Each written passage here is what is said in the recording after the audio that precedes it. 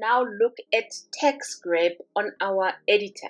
You need an image that has text on it in order for you to grab the text. You're going to find this tool under the edit photo once you've selected the photo that has text and it's sitting right there and it's called grab text. When would you be using this? It could be for a thumbnail or some text that you see on Twitter or TikTok and you're wondering, I wonder what does this creator use for their text? It could be for a project at work and you would like to grab the text on an image, for example. It could also be on a product like a MoFire product that has text. So all the tool does it grabs text on an image. So let's put it to action, for example, and see what Diana uses for her thumbnails on YouTube. She's one of my favorite content creators. You select the image, you click edit photo, and then you select grab text and you watch for the magic to happen. Please take note this is a pro feature and can only be used by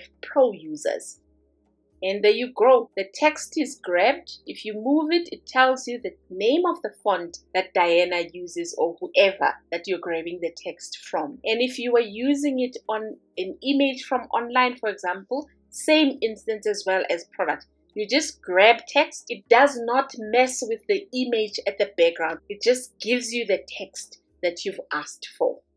And the image stays intact. Thank you so much for joining me for this lesson. I will see you on the next video.